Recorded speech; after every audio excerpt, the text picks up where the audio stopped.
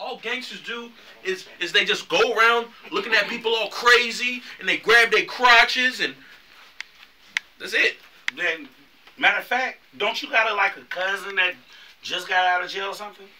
Uh, actually, it's my uncle, and he lives in East Palo Alto. Ooh, the Palo East. Alto. Okay, okay. You can call him up then, man.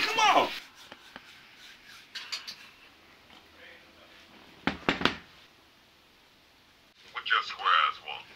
Um, well, me and my friend, I mean, uh, me, me and my homeboys, we was sitting around and we was thinking about how to become a gangster. You feel me?